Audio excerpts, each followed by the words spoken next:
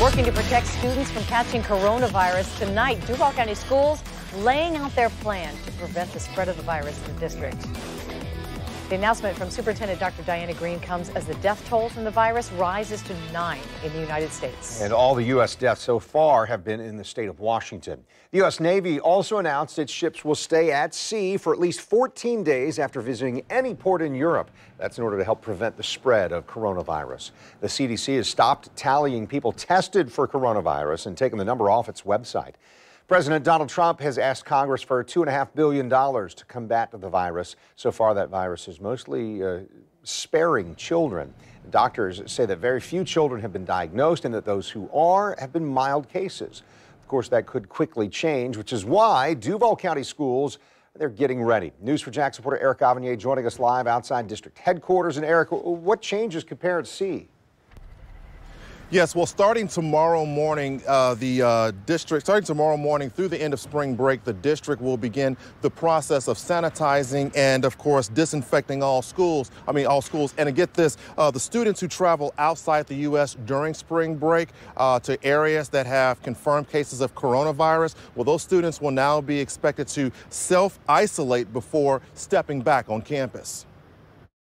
Although there are no confirmed cases of coronavirus in Duval County and the risk of infection to the virus in Duval County is considered low, school superintendent Dr. Diana Greene made it clear Tuesday night that she intends to keep students protected by first making sure each school is stocked with protective masks. We are providing the schools masks. However, from guidance from the Department of Health, the mask should be used for only students with symptoms of the illness, not just uh, the general population. A bulk of hand sanitizers will also be delivered to every school campus. Students who are traveling with their family out of the U.S. during spring break to countries where there are confirmed coronavirus cases will be asked not to immediately return to school when the break is over. We are asking them to voluntarily self isolate. Um, students that are in self isolation will be provided work from, uh, from the school for a home option. The home option allows students to either keep up with their studies and homework online or have their study materials mailed to them. School employees in self isolation will have to adhere to district sick leave policies. Also, medically fragile students with documented immune deficiencies who have been recommended to refrain from attending school will be provided a home health plan that allows the child to receive their lessons and homework and children that move to Duval County from high risk countries will now have to undergo evaluation before they can enroll for school. Staff from the District Parent Resource Center will support families with enrollment after consultation with staff from the district's health departments. One other note, planned school trips to amusement parks that have not already been paid for are now uh, canceled. Uh, that's because the district says it cannot control sanitation in places where there are thousands of people gathering. Reporting live, Erik Avanier, Channel 4, the local station.